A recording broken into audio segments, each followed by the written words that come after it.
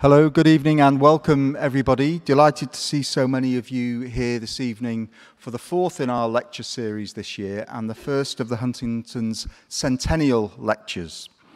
My name is Steve Hindle. I'm Director of Research uh, here at the Huntington, and I look after the fellowship program, the conference program, and the lecture program. 2019 represents the 100th anniversary of the signing of the indenture that turned Henry Huntington's private collection into a public research institute. And all our programming this year is designed to celebrate that extraordinary contribution to the humanities and, as Mr. Huntington himself put it, the uplift of humanity that was symbolized by that extraordinary gift.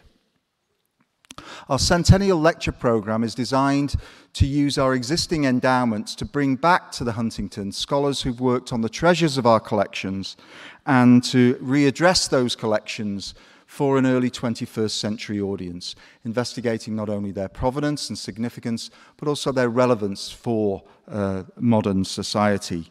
So over the course of the next uh, eight or nine months, you will hear scholars working on the Ellesmere Chaucer or the Bad Quarter of Hamlet or Audubon's Birds of America come to this podium and readdress those treasures of the Huntington's collections from an early 21st century perspective. In each case, we take advantage of the endowed restricted funds that have been gifted to us over the years. And this particular centennial lecture is made possible by the endowment in honor of Ray Allen Billington, who was one of the leading scholars of the American West, uh, a formidable figure here at the Huntington and also at Occidental College. And the, the lecture was endowed for the specific purpose of addressing an aspect of the American West. Past lecturers have included Ben Madley last year, Karl Jacoby, uh, Neil Foley, and Ari Kelman. I'm delighted to say that this evening's speaker is TJ Stiles who, as I'm sure you all know, is a Pulitzer Prize winning author and historian. TJ holds his BA in history from Carleton College in Northfield, Minnesota, and his MA and MPhil in European history from Columbia University. In 2004 to 5, he was one of the first uh, Gilder Lehrman Fellows in American History at the Cullman Center for Scholars and Writers at the New York Public Library. And in 2011, he was a Guggenheim Fellow in Biography. He's the author of three extraordinary contributions to historical biography. Jesse James, Last Rebel of the Civil War, published in 2002, which was winner of the Ambassador Book Award and the Peter Seaborg Award for Civil War Scholarship. The First Tycoon, The Epic Life of Cornelius Vanderbilt, which appeared in 2009, which received the Pulitzer Prize for Biography and the National Book Award for Nonfiction. And then most recently, Custer's Trials, A Life on the Frontier of a New America, published in 2015, which received the Pulitzer Prize for History, the Spur Award for Best Western Biography, and the William H. Seward Award for Excellence in Civil War Biography. And a small but very significant part of that volume was researched here in our Huntington collections. I cannot think of a more fitting scholar to kick off our centennial lecture series or indeed to give the Billington lecture, to discuss how he was locked in his private room, a teenager's view of the last days of Elizabeth Bacon and George Armstrong Custer. Please welcome the Huntington's Centennial Billington lecturer, T.J. Stiles.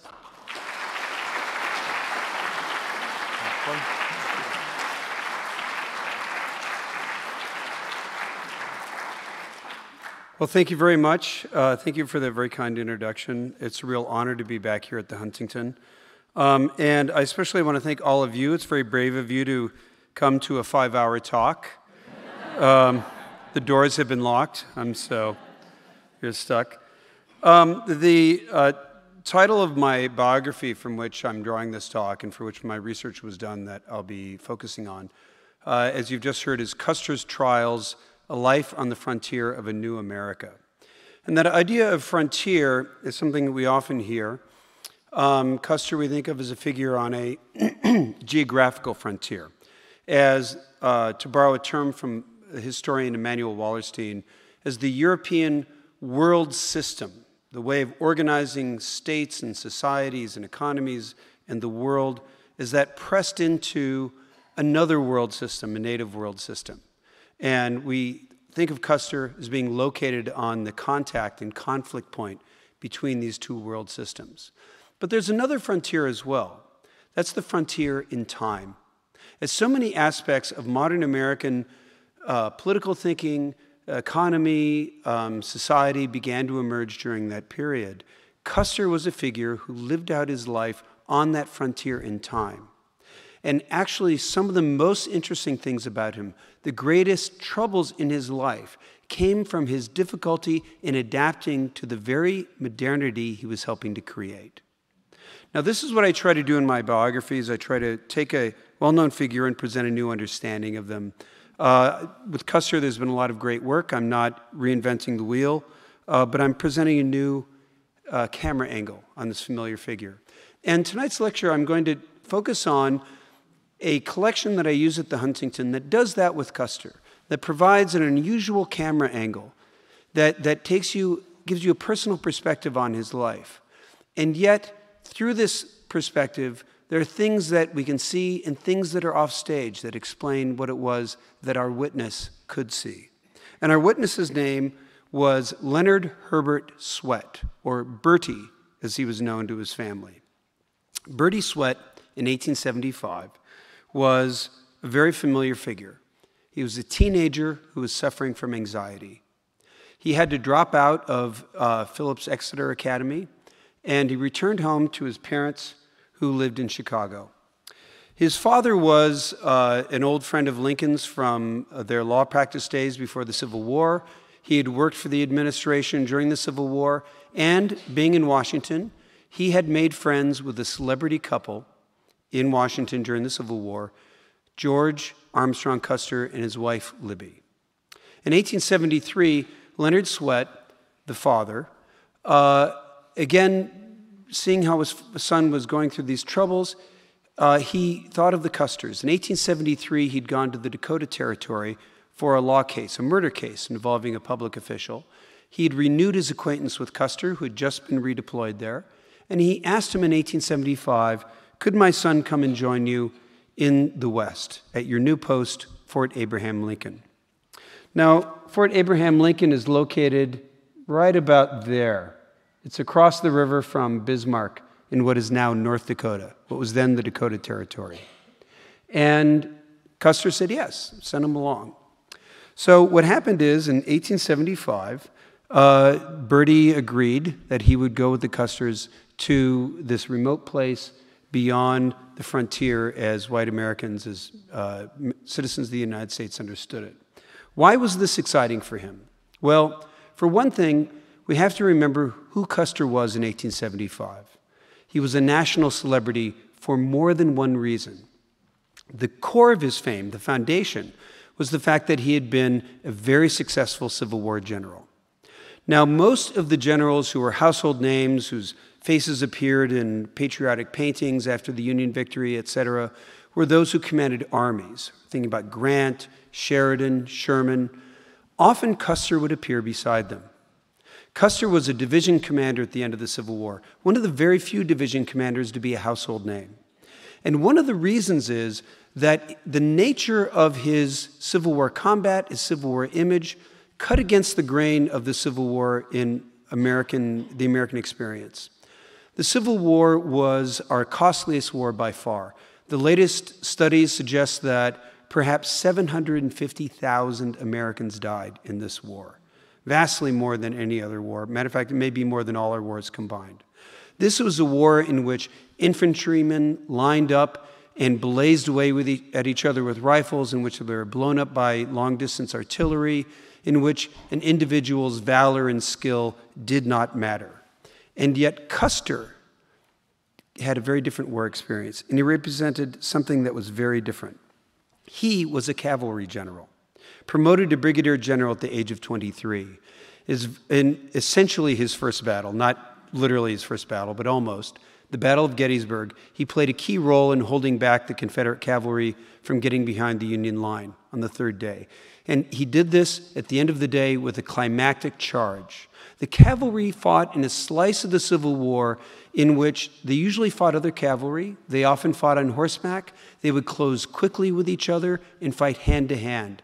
Custer may be the last American general to kill someone in a sword fight in battle.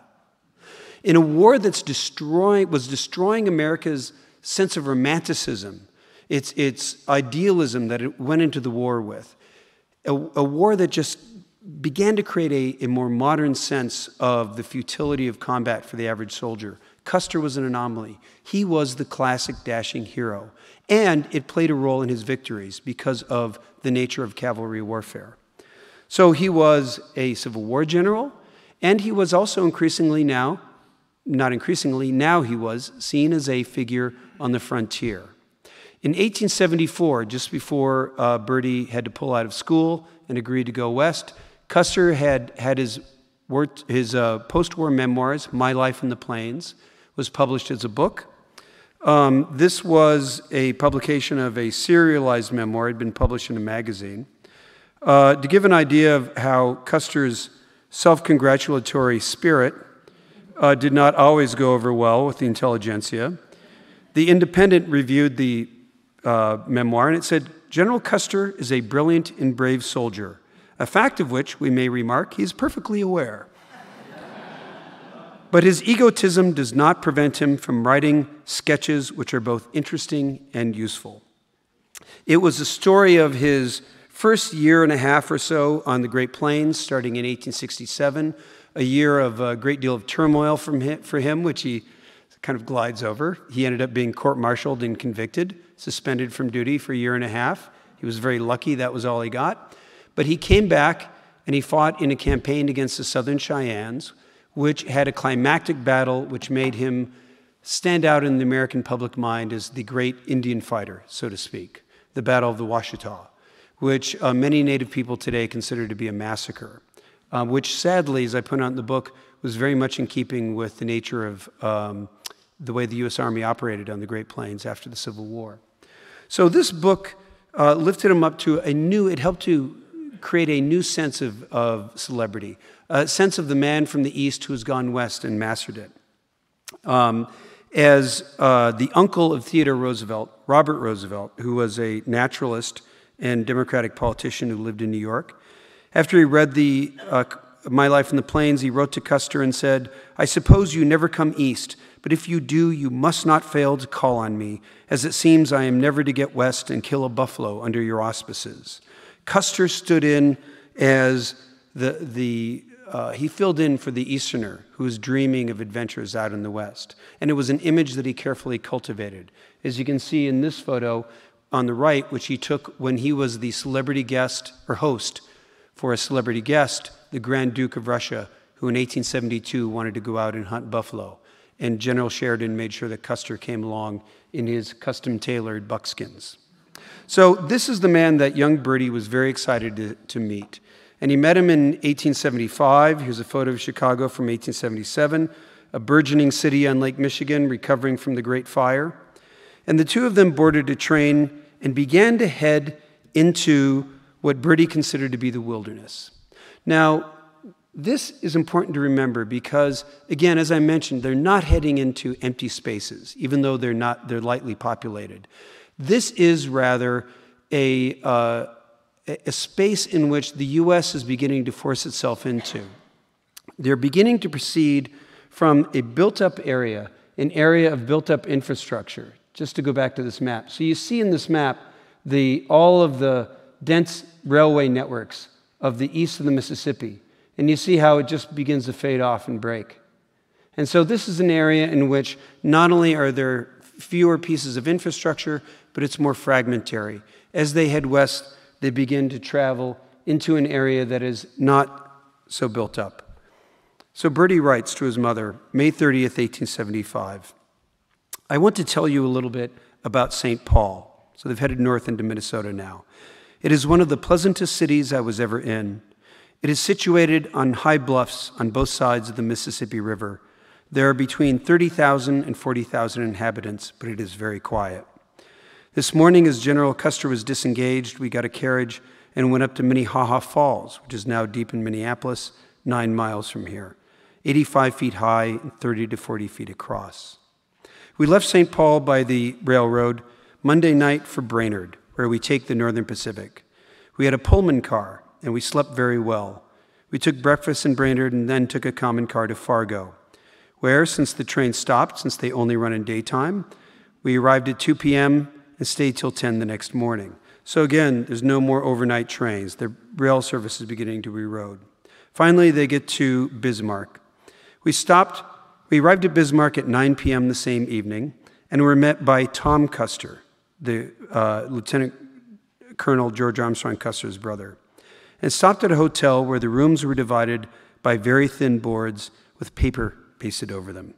The next morning, we all waked at about the same time and carried on a conversation with each other from different rooms. The general, Custer was a lieutenant colonel in the regular army, but he had been a general in the U.S. volunteers during the Civil War. I won't explain. They call him general, even though he wasn't. The general said a pistol ball would go through the house from one end to the other.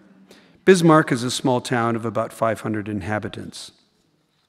We left for Fort Lincoln at half past seven and got here at nine. This shows actually the site of Fort Lincoln on the uh, Missouri. In the general's house, here are Mrs. Custer, Colonel Custer, which was again the wartime rank of his brother Tom, and, Miss, and Mr. Boston Custer, who was also the general's brother. I like Mrs. Custer very much. She is quite young, she was 32, and rather pretty. We have not done much yet, as it is not safe to go more than two or three miles from the fort on account of the Indians, who are dangerous.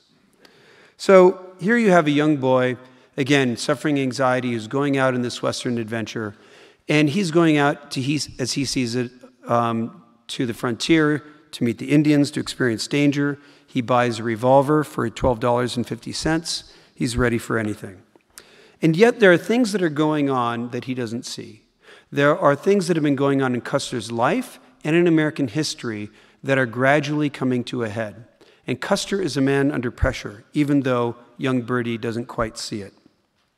For one thing, there is the whole question of why is it that it's dangerous? Who are the Indians who are they're so worried about? Well, when Custer arrived in 1873 in the Northern Plains, he set out on an expedition called the Yellowstone Expedition. And what it did was escort a survey party for the Northern Pacific Railroad. The transcontinental railroads were enacted.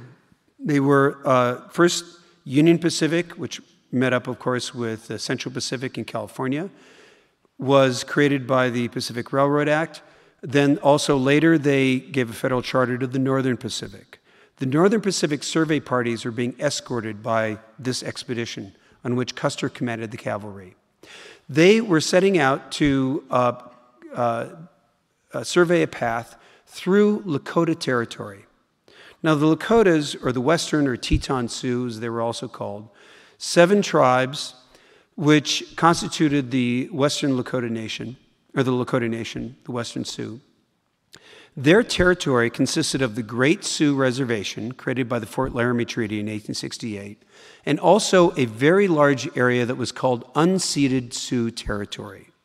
The Fort Laramie Treaty, it's important to note, which settled the what was called Red Cloud's War, was essentially a federal ratification of Lakota conquests over the last century. It was an unusual treaty in which the United States essentially ratified the military conquests of the Lakotas, who had been at war with their neighbors. Again, we have to think about the native world as being its own world system. They had their own uh, set of conflicts, they had their own neighbors, in addition to the fact they were dealing with the United States. The Lakotas had been warring with the Pawnees, with the Mandans, with the Arikaras. Um, they'd been warring with the Nez Perce, with other nations to the west. They had allied with other High Plains nations who had the, what we now consider the classic High Plains nomadism based on buffalo hunting. And the Lakotas had reached the height of their power in 1868, and the U.S. had ratified it. So the uh, Transcontinental Railroad committed the federal government to extinguishing Indian title to any place where the railroad thought it needed to run. So this was an invasion of recognized Lakota territory and the Lakotas knew it. As they're marching into this territory in 1873, basically setting up the framework for a new conflict with the natives in the Northern Plains, Custer himself was creating difficulties with his commander on that expedition, Colonel David Sloan Stanley. And this is a consistent pattern in Custer's life. Someone who'd been elevated to field command in the midst of combat and was very good at it. He never learned management. This is a part of the new world that's coming into being a world of corporations, of organization, of hierarchical society. Custer is in the flagship, pioneering institution in an institutional world, and he's bad at it. He's great at fighting, but he's bad as a manager and as a subordinate. And he and Stanley have repeated fights on this march west through the hot uh, weather of the high plains. Stanley has him arrested at one point. Custer tells a friend who's on the expedition that he's going to have Stanley arrested because he's been drinking too much. And then what happens? Sitting Bull launches two attacks. Custer handles his men very well with discretion. He's not reckless, despite what you may think from the way he ended up. Not that you know anything about that. But, and this saves his reputation. This was the pattern in Custer's life after the Civil War creating trouble, saving himself for the battle, in this case, two battles.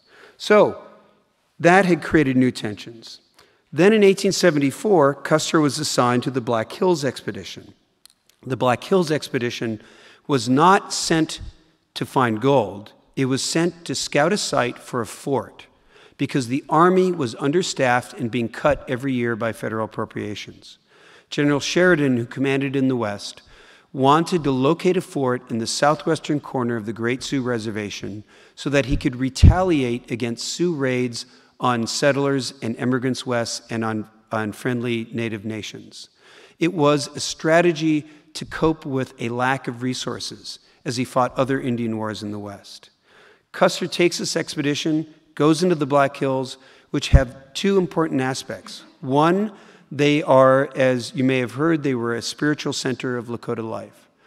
Also, some historians have argued even more important, they were an essential resource, a natural resource, because nomadism depended upon the survival of large horse herds and large buffalo herds during the winter. They needed timber, they needed shelter from the weather, they needed good grazing, uh, good grazing and good water sources. The Black Hills were a, a, an oasis in the High Plains desert, and it was essential for the continuation of their economy and their uh, social organization. And by invading it, they violated um, the Lakota sense not only of uh, their worldview, not only of their economy, but also it violated the sense of themselves as conquerors. The fact that they had conquered the Black Hills from the Crows and other nations, that this was their land by right, by right of conquest. So this set up another problem. Rain in the Face, then in 1874, he was a noted um, Lakota war leader who had killed two men in the battles with, with Custer and his forces. 1874, Custer dispatched his brother to arrest Rain in the Face, and uh, they uh, managed to uh, trick him about their intentions. Uh, Tom Custer tackled him in a uh, trader's fort in an Indian agency. He was locked up at Fort Abraham Lincoln, and uh, while the Army tried to figure out what to do with him, after a couple of months, he escaped when a horse thief had his friends come and break him out of the stockade, and Rain in the Face escaped too. Classic Old West stuff. But as Custer noted, the Hunkpapas swear vengeance. Politically, Custer was under pressure. So he's got organizational difficulties that have created problems for him. He's got growing tensions with the Lakotas, this large and powerful nation. Then, meanwhile, he had political difficulties that stretched back to the end of the Civil War.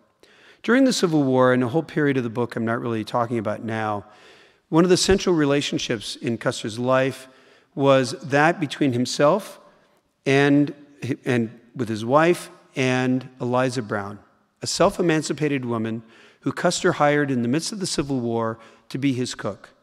As someone who'd grown up in slavery, she took advantage of this opportunity to really carve out authority and make herself into the household manager. She created her own patronage network, redistributing food to other escaped slaves called contrabands. She began to uh, try to educate the Custers, sometimes get frustrated with the Custers, out of their deep racism. Custer was somebody who'd actually resisted emancipation. It really brought Custer a long way. And yet, at the same time, the end of the Civil War brought new tensions as Custer began to turn away from the direction he'd been moving. He actually uh, supported Andrew Johnson in 1866 when Andrew Johnson campaigned on the swing around the circle against the Civil Rights Act of 1866 and also the 14th Amendment, which was up for ratification, which is the foundation of both civil rights and civil liberties in the US. Grant was disgusted. Uh, Grant assigned Custer to be the field commander, the lieutenant colonel of one of the new black regiments in the US Army. First time black troops were enlisted specifically for the regular army. Custer went over Grant's head, wrote to Andrew Johnson, and said, I want to serve with white troops only. After the swing around the circle, he got his reward. He was switched to the 7th Cavalry, a white unit. In 1871, Custer was deployed to Kentucky as a part of the federal offensive against the Ku Klux Klan.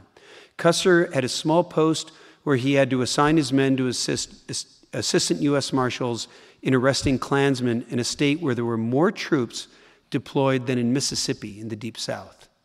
There was a rampant campaign by the Ku Klux Klan to suppress African Americans in, in Kentucky. Custer had this duty, he hated it. He wrote a sarcastic report in which he said, Well, we've got so much ammunition, we have so many men in the post. Um, for exercise, the men can either do drill, fatigue duty, or they can go out and arrest Klansmen, of which I think the first two are highly preferable. He'd rather have his men digging latrines than hunting Klansmen. He was conservative politically. He didn't like the way in which the world was changing. He wrote sarcastically about African Americans in public office. This is a period when you had African American congressmen and senators and uh, members of state legislators. Custer was opposed to it. He'd been strong for the Union victory, a key player in the Union victory, and yet he was opposed to Reconstruction. Needless to say, this created problems for him because the commanding general was now the, considered the radical Republican president of the United States, Ulysses S. Grant. And Grant was not too happy with Custer's forays into politics. Finally, Custer was a man under pressure for financial reasons. He often went to New York. In the 10 years after the Civil War, he spent probably about two years in New York. And having pledged to his wife that he would give up card playing, he went to Wall Street, where in early 1875, just before he met Bertie Swett, he went to a broker named Emil Justh, who was a Hungarian uh, refugee who had fled the revolution of 1848, set up in New York as a stockbroker. And Justh said, I trusted him naturally. He didn't require that Custer put up a margin for his stock trades. Custer began to engage in short selling, a highly speculative maneuver for anyone other than a professional trader trying to cover his, his uh, bets. Um, Custer made, unfortunately for him, he made money on his first trades. He was a gambling addict. Those first trades did not set a pattern. He began to make more trades he began to do more short selling. It was beginning to go south on him even before he went to Chicago in 1875 to pick up Bertie Swett.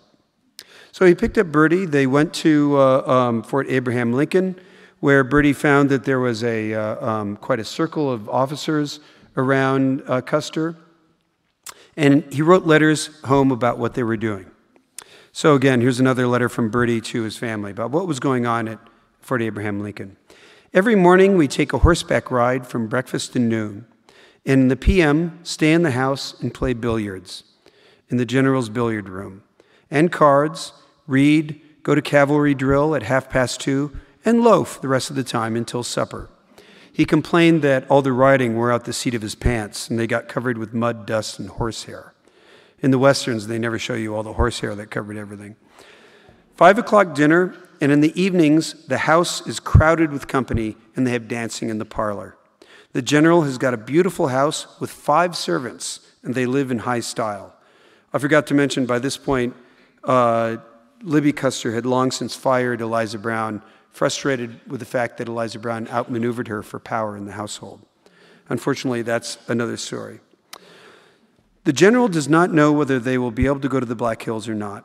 Listen, he writes to his father. The question is this The Department of the Interior does not want him to go to the Black Hills, and the War Department does want him to go. Now, if you are willing, I would like to go with him, as there is nothing I can do here. By the way he talks, he does not expect us to go, I think. I suppose, of course, that General Custer is very ambitious and trying to get all the court favor possible. So if you have a chance to do him any kind of good turn, I wish you would, meaning specifically to, to talk him up to General Sheridan, who is based in Chicago. I would be very much obliged to you, as he is very kind to us.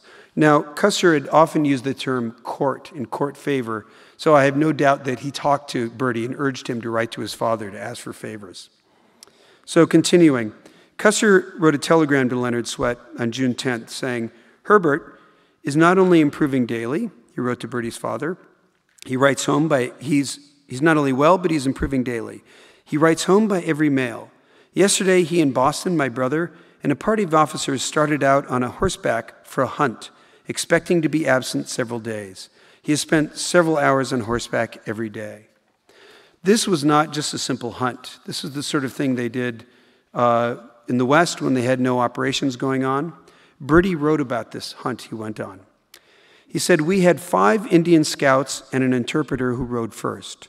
Colonel Weir, commander of the expedition, and his orderly and myself on horseback, then a sergeant, five cavalrymen as guard, then Boston Custer, and three gentlemen in a light wagon, then a large wagon drawn by four mules containing all our tents and bedding, and then another wagon, equally large, containing our rations and oats for the horses.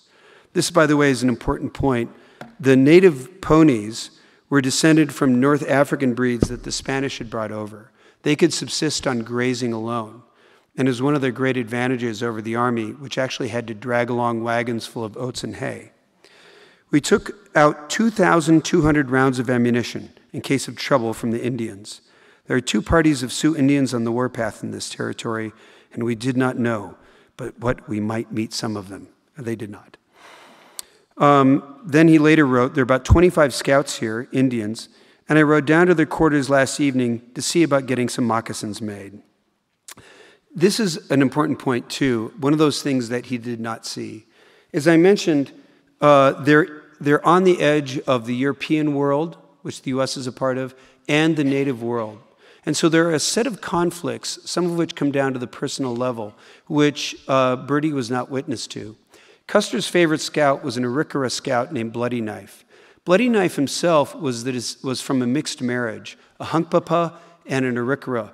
And he was raised with Sitting Bull's band, and yet he was constantly given a hard time because the Arikaras and the Hunkpapas, who were a Lakota nation, were constantly at odds. And so Gall, who became a famous uh, Lakota warrior, was constantly teasing young um, Bloody Knife. And later in warfare, uh, scalped and killed Bloody Knife's brother. Um, so Bloody Knife eventually left the Hunkpapa camp and he sided with the army and worked as a scout. And this is important to note that they were not simply mercenaries working for the army, these native scouts. It was a rational choice based on their own national imperatives. Again, they still have their own nations, they have their own um, their reservations, but they're still uh, mixed into this surviving and ongoing native world in the northern plains. So, to side with the army against their traditional enemies, the strongest uh, native nation on the high plains, made sense. Uh, Bertie goes on. There are about 25, okay, 25 scouts here. Mrs. Custer gave a sheet and a pillowcase masquerade. Now, again, uh, Libbie Custer, in this fort with a handful of women and um, a group of officers, she is the social leader of this small group that are stuck in this remote post with little to do month after month after month. She has a role to play and she knows it.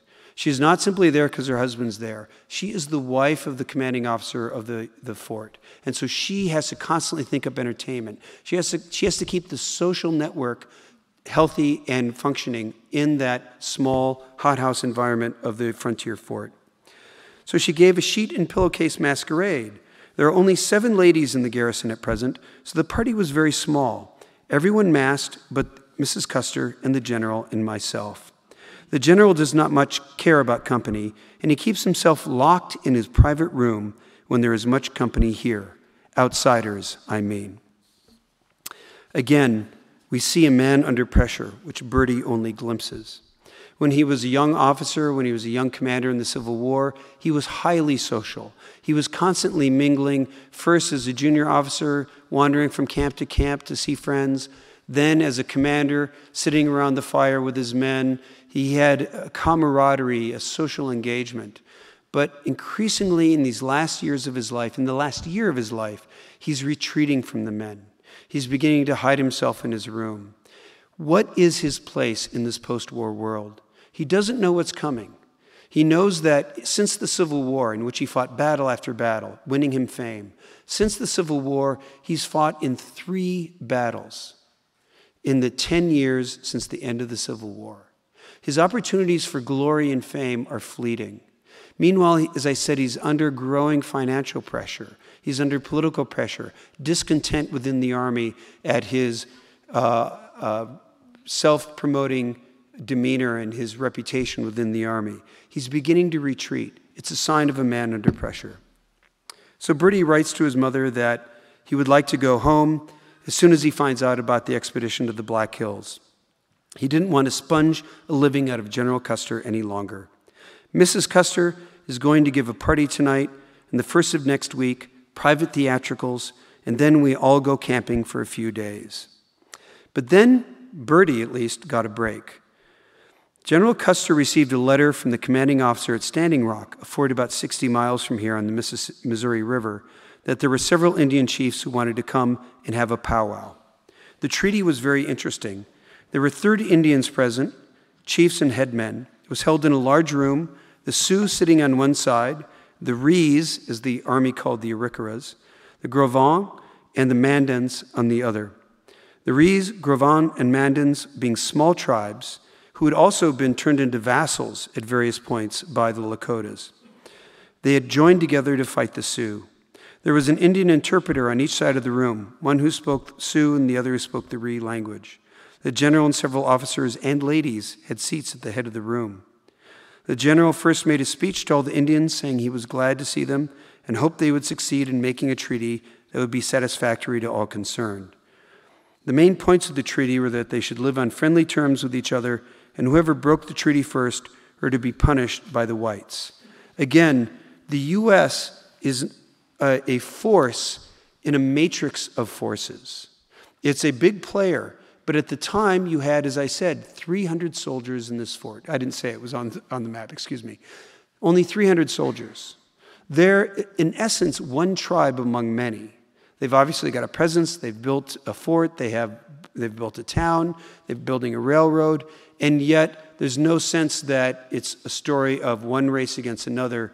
It is separate nations with their own strategic concerns, and the U.S. is a player, an ally to be brought in in these mutual conflicts. But you also see the attitudes that young Bertie has that reflects the attitudes of the army. He says, Son of a Star, the second chief of the Rees, rose, came and shook hands with General Custer, several officers and ladies, and as it happened, he shook hands with Miss Emma Wadsworth, of the ladies and frightened her almost to death, she said. And then he made a short speech saying he was very glad to come and shake hands and make peace with the Sioux, and he hoped it would please the Great Father. He is about 35 or 40 years old, dressed very showily in a buckskin shirt embroidered with porcupine quills and beads and leggings and moccasins to match. He had his face painted a light coat of red ochre and a necklace of shells around his neck and large brass earrings. He is a very fine looking Indian. He was immediately answered by Drag the Stone, the Sioux chief, whose speech was about the same effect as Son of a Stars. He was then answered by, more handshaking, White Shield, head chief of the Rees. But he is a sneaking, villainous looking old savage of over 60, his eyes very small, deeply set, and black as coals, giving him a very treacherous look, peculiar to an Indian. So you see the attitude. We read this kind of thing from a lot of uh, the military Uh, officers who went west writing home about the Indians as dirty and treacherous and savage. And yet there's also this element of respect, of even admiration. And Custer himself in his memoirs tries to work through the fact that he'd been outsmarted, outfought, outargued by native leaders. And he had to respect them. At the same time, he had a hierarchical racial view which at the time was taught at Harvard University and everywhere else, that there was a ranking of races. And Custer, like many Americans, comes to the conclusion yes, they can be very admirable in nature. They are savages. But of course, the advent of civilization will cause them to die off. So, coming to the end, we have the climax of Bertie's trip, which was a grand camping trip. And again, this shows the kind of stylized, formalized entertainment that the Army brought out to the West. He said, We started on Thursday afternoon, arriving at camp just before sunset. So it was a several hour march to the Little Heart River. It was a beautiful spot. As we came over the hill, we saw the camp was situated at the foot of a line of bluffs, which make a curve in the form of a crescent, thus enclosing two sides of the camp, while on the other side was the Little Heart River. The tents were arranged in the form of a hollow square on three sides, while the wagons on the fourth side completed the square. The horses were fastened to the wagons, eating their suppers, and the men were sitting around their fires, cooking theirs. As we came into, in sight, the band began playing, thus giving life and animation to the scene. I suppose you wonder how we happened to find everything in such perfect order when we came in. Well, the reason is this Colonels Custer and Cooke, Colonel meaning uh, Tom Custer, and Cooke, with 50 men and 11 government wagons, went out early in the morning and had been working all day and had just finished a few moments before we arrived. This is something that Custer would do. He would turn his men, his unit, into a vehicle for his own personal entertainment. It was one of those things he did that a lot of higher ups in the Army got very frustrated with him for this self indulgent side of Custer. And they tolerated it because when it came to fighting, he was still very good at it. We also see the fact that they're bored. They're out in this frontier post with no war raging, with no particular duty, and they're killing time. And for a man who had risen so fast, this is a crisis. This is a question of where the rest of his life is going. Again, another element that adds pressure to him. Well, Politics begins to intrude even in the West. Soon after Bertie leaves, in September 1875, the Secretary of War arrives at Fort Abraham Lincoln. Custer, who's a fierce Democrat, sees the Secretary of War, who's a Republican, and he's heard stories about how under Belknap there are sutlers, the official traders at posts, who have to pay bribes to higher ups, perhaps to Belknap himself. And so Custer can't wait to get Belknap out of town, but he begins to collect stories about corruption under Grant's War Department. Then he goes to New York. When he's in New York, he begins in September to indulge himself again, as he often had. Custer, uh, first, he has to deal with money woes that have been piling up from a failed investment. In this new world of industry, a new world, remember, of the stock market, of a corporate economy that is beginning to emerge. Custer wants to cash in.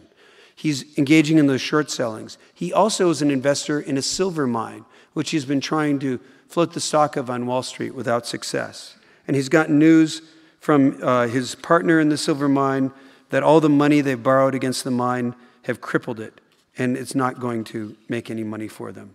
He goes back to the office of Emil Justh and begins trading in stock again, losing money, losing more money. He's also spoken to by a reporter from the New York Herald. The Herald says, Well, what do you think, General, about this morning's news from the Black Hills negotiations?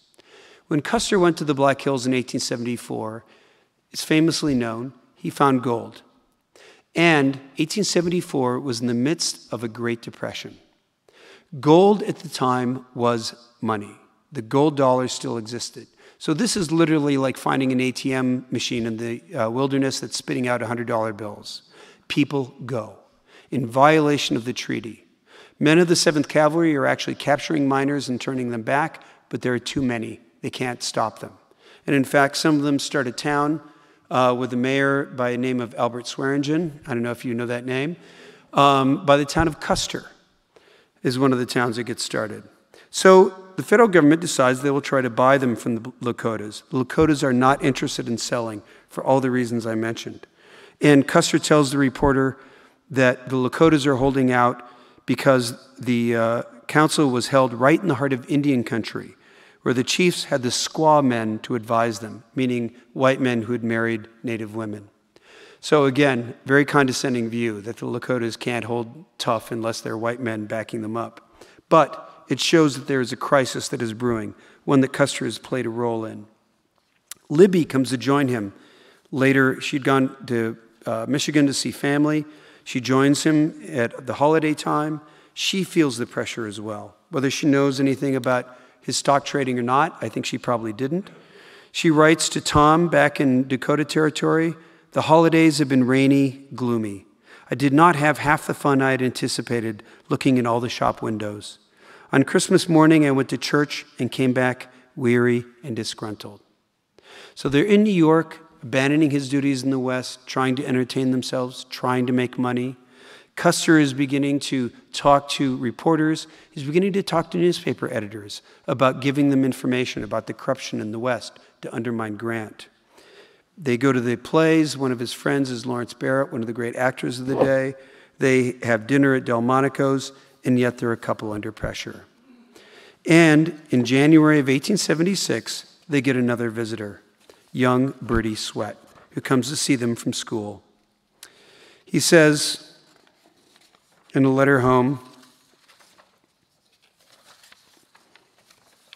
pardon me, he goes to his hotel, and then he walked down to the Hotel Brunswick, corner of 26th Street and Fifth Avenue, where and inquired for General Custer.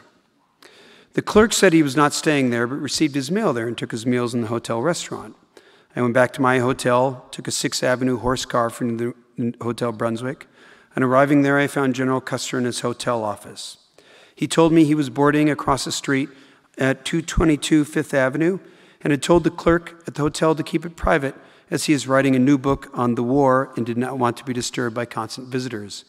What he didn't mention was that he was also trying to evade service on papers because he was being sued for not delivering his war members memoirs to another publisher.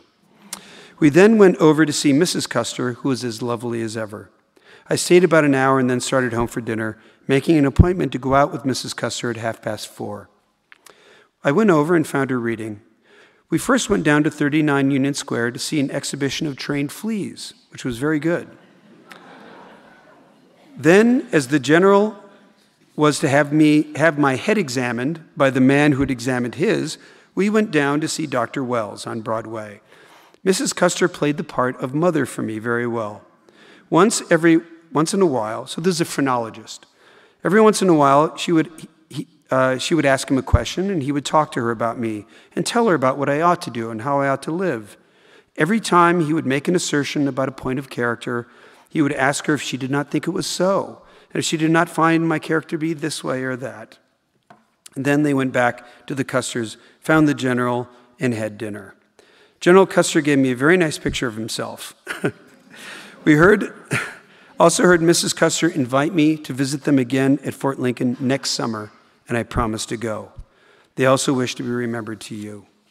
Later, he wrote his mother, he discussed his phrenological chart. He called his phrenologist less of a phrenologist and more of a flatterer. And he said, You write to me, mother, you are afraid, I am afraid I should lose my boy to Mrs. Custer. As for Mrs. Custer, she has my highest respect and admiration as a truly lovely woman. This is a very interesting passage. This is the last passage we have from Bertie himself. And it shows something of their relationship. The Custers were a troubled but passionate couple. They truly loved each other. They had an intense sex life. You'll probably thank me for not going any further on that. But also, Custer constantly cheated on his wife, at the very least, flirted with her, with other women. And she flirted with other men. And they also never had children. I'm sure it wasn't for lack of trying. Most likely it was because Custer, who'd gotten gonorrhea at West Point, was either sterile from that or from the treatment with mercury that most uh, gonorrhea sufferers got at the time. So she was childless and she felt it. Bertie gave her a sense of what it was like to be a parent. Playing mother meant to him meant the world to her. She wanted him to come out, to give her a chance to be a mother again for one last time, as it would turn out to be.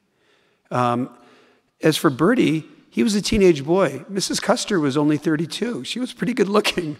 And what was going on there, we can only imagine. Was, this was the 19th century. He wasn't writing too explicitly as a teenager to his mother, and yet there may well have been a sort of tension there. Either way, he very much liked this controversial couple. But controversial they were. That year, Custer began to plunge, 1876, very rapidly. He made more trades with Justh. He traded uh, a total of $398,983 in uh, total value of exchange of the trades he made, losing 8,578. At the time, the best paid railroad executives, the largest companies in America, earned $8,000 a year. Some earned 6,000. That's a gigantic debt. Uh, he had to beg to be paid for the book edition of his memoirs and got just $131. He contacted the uh, Redpath Lyceum Bureau, the leading lecture agent, who promised them that uh, they could do something for him, but it would not happen until after the spring. And so, finding no money coming his way, three days later, he signed a promissory note to Justh for $8,500, due in six months with 7% interest. Custer went back to Chicago on his way to the Indian Territory. There he ran into Lawrence, um, or excuse me, Leonard Swett, the father, uh, who said that Custer explained to him that there was an Indian war brewing and that the Black Hills are going to lead to war. And so he had to return home to his men. And yet something else pulled Custer away. Again, as I mentioned, by now, places like Deadwood have been settled um, the miners are not leaving. Grant's administration has decided that they're not going to force the miners out, and that the problem they decide are the native leaders who refuse to uh, accept life on the agencies and who are remaining living a nomadic lifestyle, either following or inspired by Sitting Bull. So they give them a deadline to report into the Indian agencies. And of course, they ignore those deadlines. So war is brewing. Meanwhile, Custer, while he's supposed to be preparing his regiment for battle, has been making contact with the Democratic leaders who, because of the Great Depression, now control the House of Representatives. And in 1876, they call him to testify in a corruption inquiry into Belknap, the Secretary of War, who it turns out has indeed been taking kickbacks from sutlers in order to get um, contracts to supply uh, goods to the troops in Western forts. Well, the real question that the, the, Democrats are concerned about is this question that had driven Custer, the question of Reconstruction. And so, this Pennsylvania congressman who uh, brings Custer up to testify against Belknap, this is his campaign poster when he ran for governor of Pennsylvania. Racism is the one defining and unifying factor in the Democratic Party at the time. To overthrow Reconstruction they are trying to find, uh, and if necessary, they would uh, manufacture, but in this case, they've actually found corruption in order to dirty up the administration, in order to bring Grant down. And so Custer is called to testify. He not only testifies, he wanders around Capitol Hill arm in arm with uh, General uh, Representative Hiester Clymer. Uh, they are seen together in the House um, restaurant. Custer begins to sit at the uh, Democratic uh, committee tables to write letters home on Democratic Party stationery. A serving officer, a senior officer in the U.S. Army, is openly allying himself with the political opposition to the commander in chief. His testimony is largely hearsay. There is indeed corruption in the War Department, without question. But Custer is going beyond simply fulfilling his legal duty he is making himself into a political figure once again. And Grant is fed up. Grant, as Custer is ordered to uh, report west to help prepare the 7th Cavalry to go out on this campaign to try to drive in the Lakotas and uh, um, defeat them and force them to give up the Black Hills. Uh, Custer's column is preparing to leave, and Custer is in Washington. He begins to realize he's gone too far he begins to realize that, that uh, Grant is getting fed up with him and he's in danger. And he, he can feel it. He is at the peak of his power and then he feels how rapidly he's descending. Once again, he's created a disaster for himself. And how is he going to get out of it? By going to fight another battle. But Grant pulls him off command of his unit. And so Custer has to beg. He leaves Washington without seeing Grant. That infuriates Grant. He's in Chicago. He sees Sheridan. Sheridan is fed up with him as well. And finally, he writes a letter pleading for forgiveness. He gets his department commander, Alfred Terry, to write a letter begging to let uh, Custer go on the expedition. And Grant, against his better judgment, allows Custer to march out of Fort Abraham Lincoln with the 7th Cavalry to fight against the Lakotas. Grant very narrowly missed saving Custer's life because Custer very narrowly missed facing the consequences of his political overreach. But it is the one thing that everyone believes that Custer can do, and that is to fight. And so when Custer goes out to Fort Abraham Lincoln, he, uh, just as he's about to leave, there is a telegram that is sent out by um, General Sheridan to Terry, who's accompanying the 7th Cavalry. And he writes a letter in which he says, I'm sorry that Lieutenant Colonel Custer did not manifest as much interest by staying at his post to organize and get ready his regiment uh, and the expedition as he does now to accompany it. But then he writes to Terry and says, You must rely on the ability of your own column, that is the 7th Cavalry, for your best success. I believe it to be fully equal to all the Sioux which can be brought against it, and only hope they will hold fast to meet it. You know the impossibility of any large number of Indians keeping together as a hostile body for even one week. In the end, given this attitude in the Army, the real mystery of Custer's life is not that he died at the Little Bighorn, that he made miscalculations, that he did not have enough men, that he did not understand what was going on the native side, that the Lakotas were at the height of their power, that they were emboldened and made more militant by the uh, US government's actions, that they felt themselves confident and capable and had excellent tactical leadership. The Little Bighorn to me is not a particular mystery. The mystery is how Custer got this far. He was a man who was at odds with his times.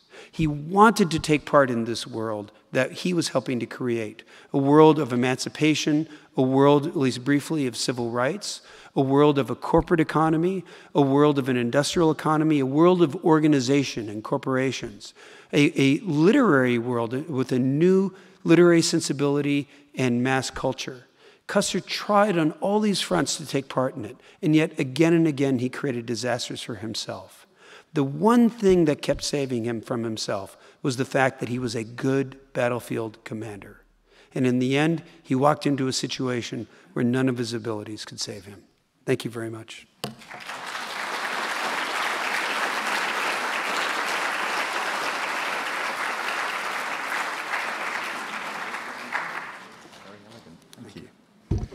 So we have time for questions. Uh, our experience in this room is that if you shout your question out, you can be heard, but we'll make sure that we repeat it from the podium if there is any doubt. Are there questions? Hi there, in the middle here.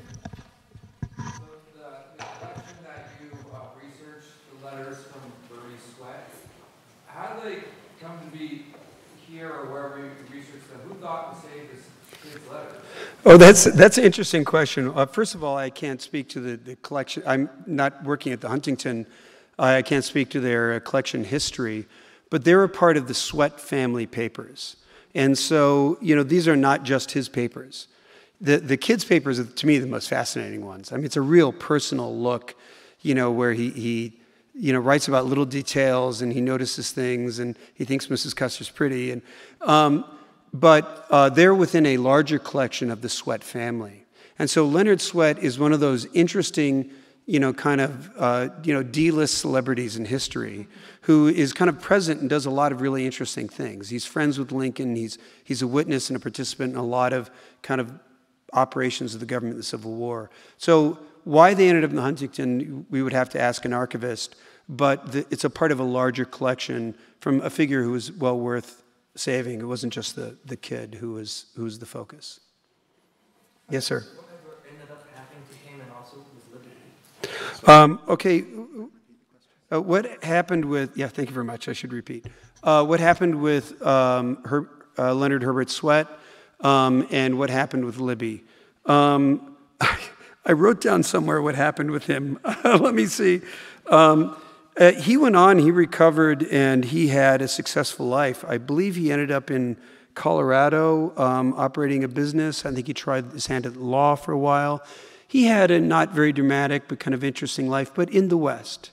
Uh, it's very interesting, his kind of lifelong fascination with the West. He ends up in Colorado living out his life. Libbie, what's very interesting about Libbie is she really struggled. And uh, she ended up having to, you know, she found out about this gigantic debt that Custer had left her. Uh, she had to settle it um, with, the, uh, with Emil Justh, who no longer trusted Custer.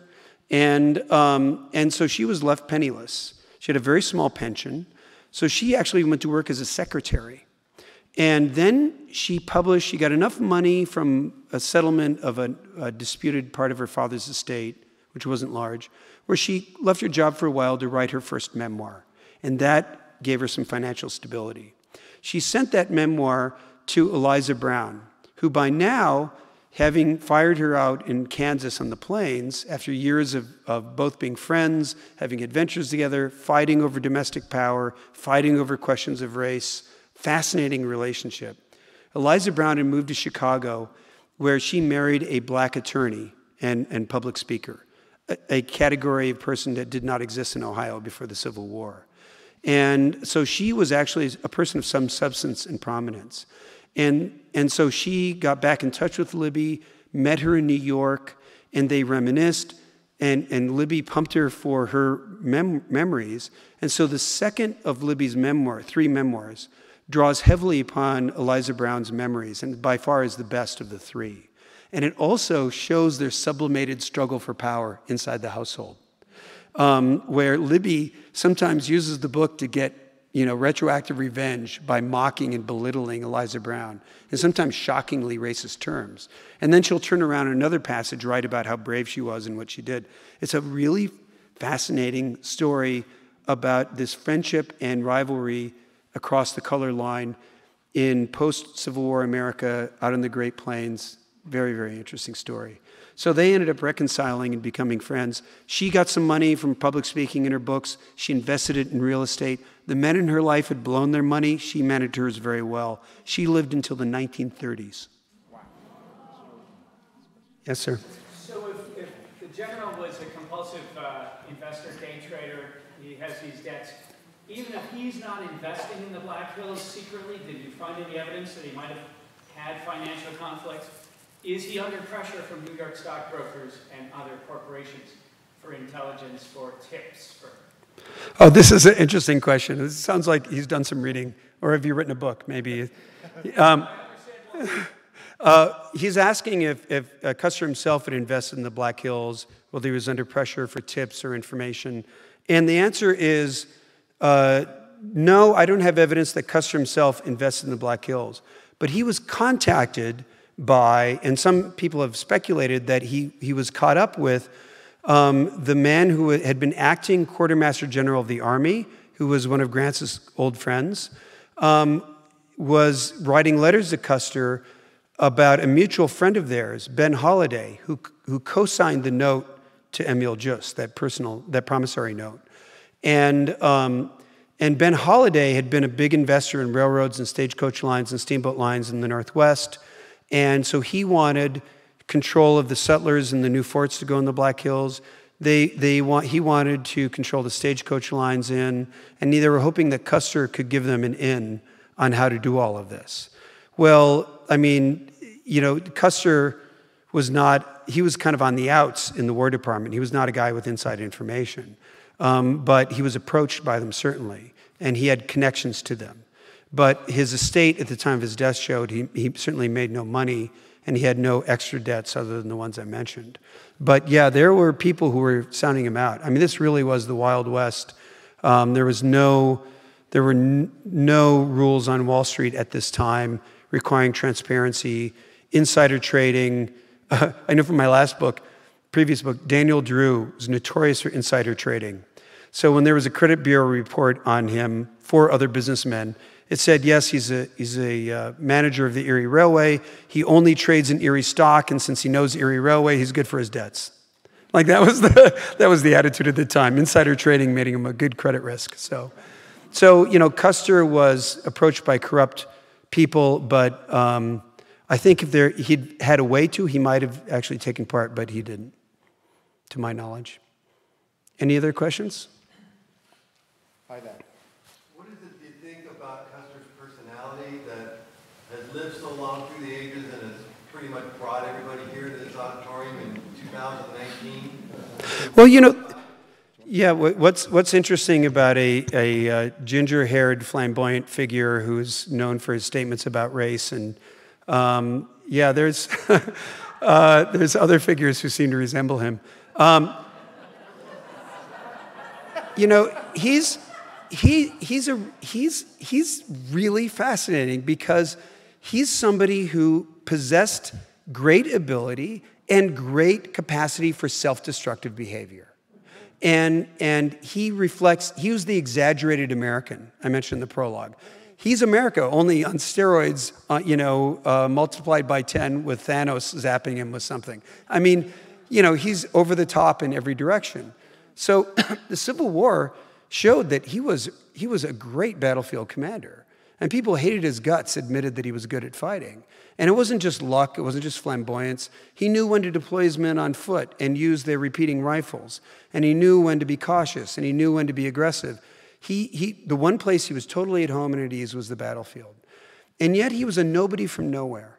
And instead of reacting to it like Grant did, who was also a nobody from Ohio, um, Grant hated flummery, hated ostentation, he hated people who talked themselves up. Custer reacted the other way. He was constantly talking himself up, he was constantly trying to craft an image. And I think it reflects a certain insecurity. That's my view, that he, was, he never was comfortable in his own skin. And, and he was always trying to impress other people because I think he was probably trying to reassure himself about himself. But, um, but you know, so he had this, this constant tendency to get himself in hot water, and he, had a, he was a compulsive, he was a, I'm sure he was a gambling addict. Um, and yet, you know, he had ability, and people loved him. And he could get super sincere, and his emotions were always on the surface. So, writing the book, it's like when he's really doing something capably, I have to keep out the seeds about how he's going to mess up. And when he's totally messing up, I have to say, you know, people really loved him. You know, he was one of those contradictory characters who's just endlessly fascinating. I say he's like, if you've watched Breaking Bad, he's like Walter White. You know, Walter White could be doing these horrible things, and you're kind of like, I kind of hope he gets out of this. You know, um, I mean, just he's an absolutely fascinating character. And he was in the middle of everything. He shows up everywhere. And when he's at his worst, there are people around him who are redeeming. Libbie, like I said, she could be racist, she could be offensive, and yet she was just, you know, inherently a likable person who's, who's she's doesn't have a lot of room in the world for herself. She's trying to find her way. Eliza Brown, I find an utterly admirable person. She's not, to use the term from, from literature, she's not a magical Negro. She's not out there to save the Custers. She'll argue with them and present, tell them when they're wrong, but she's got to survive in a world that is completely structured against her. And she takes every advantage she can to carve out a little more for herself. And I think she's fascinating. And, and there are people all around Custer who, even when he's at his worst, just are really absolutely fascinating. He was a real human being. You know, my first subject was Jesse James, who was really fleeting. It was hard to get anything personal about him. Then I wrote about Cornelius Vanderbilt, who I found out a lot about his business career, but any morsel about his family relations, you know, I, I was like gold because he was just a brusque businessman most of the time. With Custer, he was just out there all the time. His emotions are on the surface all the time. You can really get a sense of him as a person. So I think America, as it's gone through its own sense of itself, as you know, we question ourselves. You know, we've we've we've had myths that shaped generations. Then those myths come into question as the exaggerated American, Custer has, first, he's been kind of like the heroic, heroic emblem, and then now he's the effigy who's set on fire for America's sins. And he had plenty of sins of his own, but he's burning for everybody, you know, how we feel about what America did wrong too. And, and they, you know, both are true. You know, he kind of deserves it, but also we're putting a lot on him that should be spread around elsewhere too. Yes, sir. Oh, I'm sorry. What's the last question? Custer seems to have uh, um, a big media image. His buckskin, his constant photography,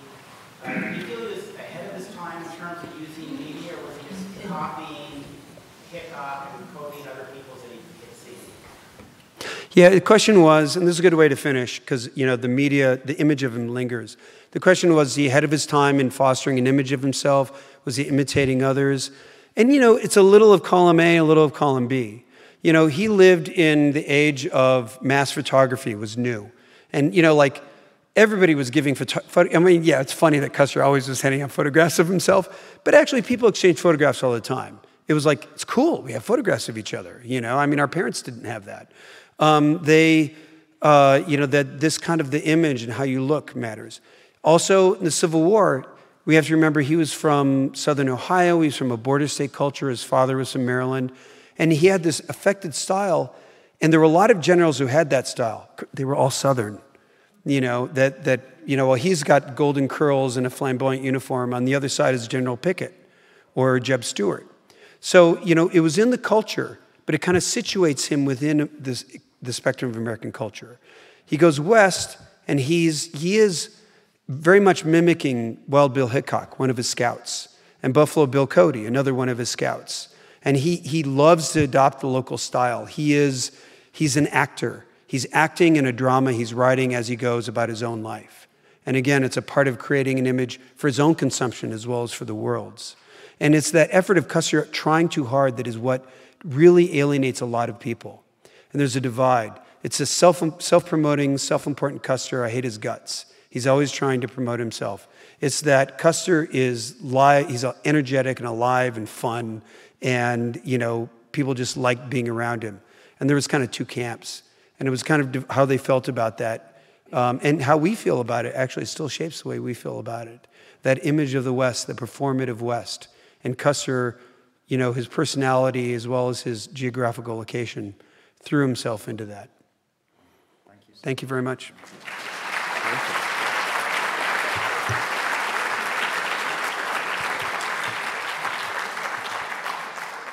Thank you all for coming. Please join us outside for coffee and cookies. But most of all, thank you for your support of our programs. Uh, please join me in thanking TJ Stiles for a portrait of an exaggerated American.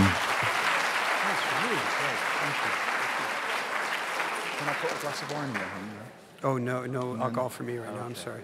but I'll take something else.